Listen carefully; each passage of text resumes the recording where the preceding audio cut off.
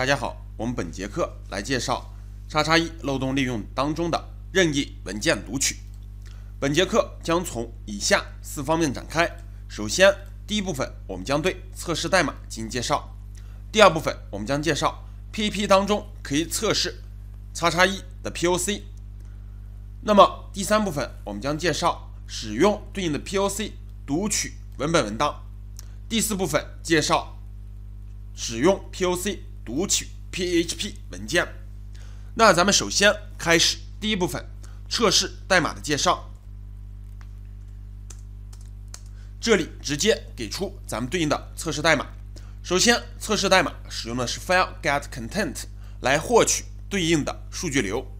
我们获取的数据流是一个 pp input 这样一个可读的数据流，可以通过咱们对应的 post 啊这个提交方式。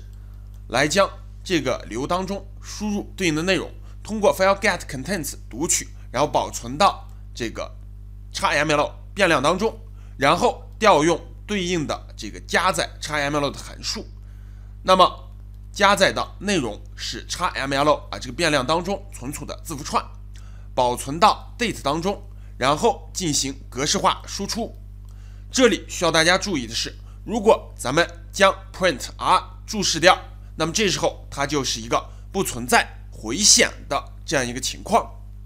那么这时候咱们需要使用 blind 叉叉一这样一个方式来进行对应的内容读取。而我们本节课暂不介绍啊盲这个 blind 叉叉一，而是直接介绍具有回显的这样一个叉叉一。那咱们开始第二部分，介绍 P E P 当中测试。的这个 POC，这里咱们直接给出三个 POC，分别是利用 file 协议读取本地文件的啊这样一个 POC，以及咱们通过 HTTP 来读取远程对应的啊这个内容。它经常啊用在咱们对应的 blind 叉叉 e 当中。而第三个啊方式是使用 base64 加密来读取 PP 文件。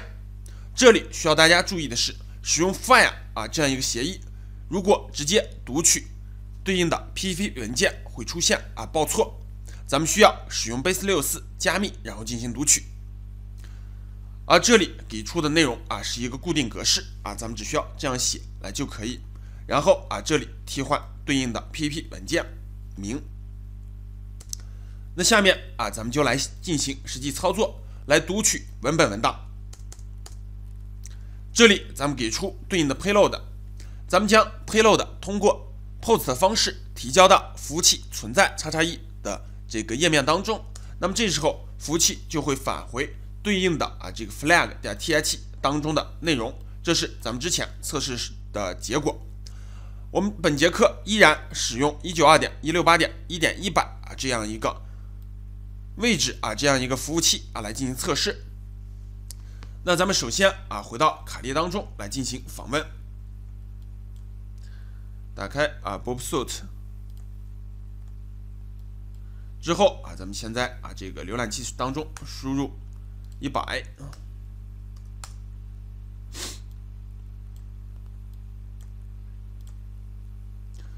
这是啊，因为咱们之前已经设置了 HTTP 代理，使得啊，它只有通过咱们启动 Bob Suite 之后。才能啊进行正常访问。Next 啊，然后 Close Next，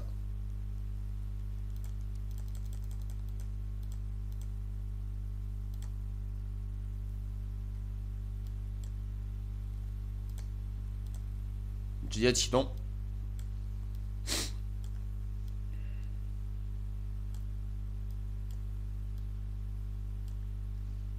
启动之后啊，咱们来。点击刷新，来更新啊，咱们当前的啊这个页面。这里啊阶段先关闭啊，然后点击这个按钮刷新之后点击叉叉一啊之后 test 点 pap，可以看到啊咱们有一个提示，hello 叉叉一。那咱们下面啊就来读取它 C 盘啊当中啊的这个。Test 文件夹下的 flag 点 t i t，那首先啊，我将啊这个 payload 拷贝出来，右键啊复制，然后啊我们在卡例当中进行啊截断数据包回车。那么这时候啊，咱们就会截断它提交请求。咱们点击 action 将它发送到 repeater 当中啊，以便咱们后面进行更多的啊这个测试。首先，咱们进行测试啊，需要将方法改为 post，之后在最后位置两个回车啊，表示咱们要提交的数据，这里要隔一行，Ctrl V 啊，然后点击 Go，那么这时候就会读取到咱们啊这个 flag 点 th 当中的文本内容，在这里啊已经读取到对应内容。以上啊，咱们就通过啊对应的这样一个方式读取到了啊咱们。的这个文本文档，那如果咱们使用这种方式来读取 PHP 文件啊，就会报错。那下面咱们来介绍如何读取 PHP 文件。那么咱们需要使用 Base 六四啊编码来进行读取。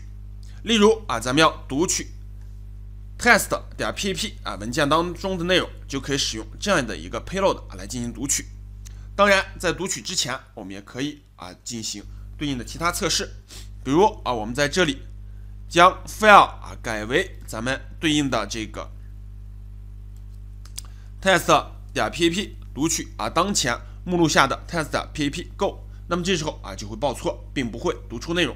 咱们想要读出这样一个内容，就需要咱们使用 base 六四加密这样一个 payload 啊右键复制，然后我们在卡例当中啊将这段内容 Ctrl V。粘贴进来啊，然后点击 Go，那这时候啊就会成功的读取到咱们对应的啊这个加密的 test pp 文件当中的内容。那么以上咱们读取出来之后，就可以使用卡利当中的啊这个 base 六四工具进行解密。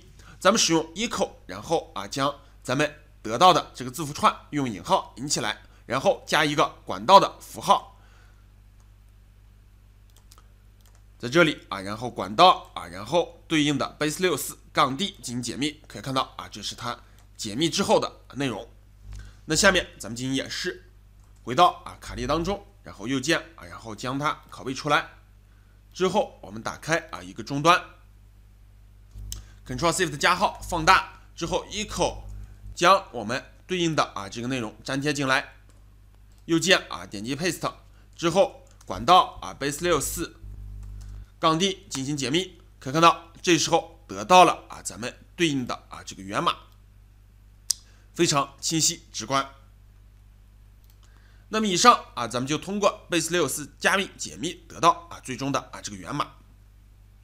那下面咱们进行总结，首先通过本节课啊大家要掌握啊咱们这个测试代码以及咱们 PP 当中测试的啊这些 POC，同时大家要掌握具有回显。功能的这个叉叉一漏洞，利用啊读取任意文件，分别是啊读取一个文本文档啊，或者是读取 PP 文件。PP 文件一定要注意使用 Base 六四进行读取，否则会进行报错。最后呢，大家要掌握咱们卡例当中对 Base 六四密文进行解密的啊这样一个工具的使用。那么以上呢就是咱们本节课的全部内容，本节课就到这里，再见。